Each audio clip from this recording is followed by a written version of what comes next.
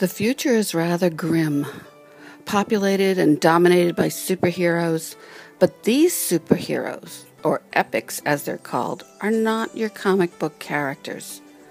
Ever since Calamity arrived, which from the description sounds like a kind of satellite, and is hovering over the Earth, the superheroes have populated the Earth as villains, intent on ruling the world and eliminating anyone human or fellow epic, who get in their way.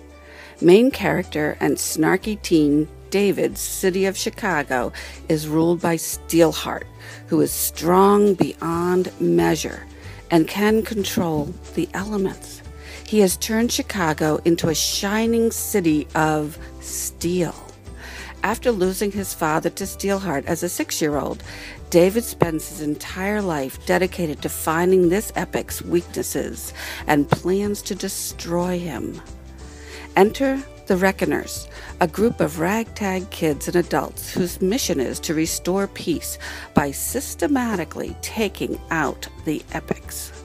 When David finds them, his knowledge becomes essential to their plans. Will they get to the strangest and strongest epic to destroy him? Steelheart by Brandon Sanderson, Delacorte, 2013.